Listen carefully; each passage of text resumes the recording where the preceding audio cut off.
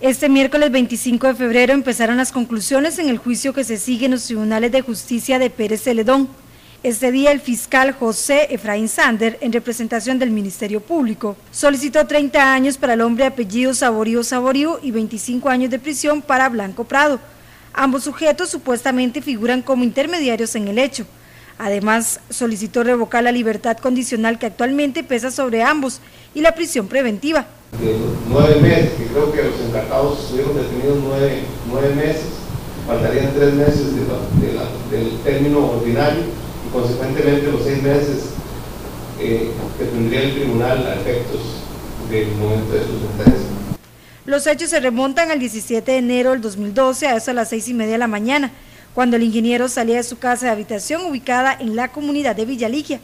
El profesional recibió impactos de bala en el abdomen y uno en sus codos.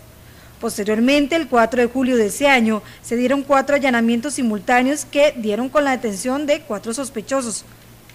Los hombres son el empresario de apellidos Blanco Solís, sobre quien pesa actualmente una orden de captura por la ausencia en este juicio y quien se presume fue quien dio la orden.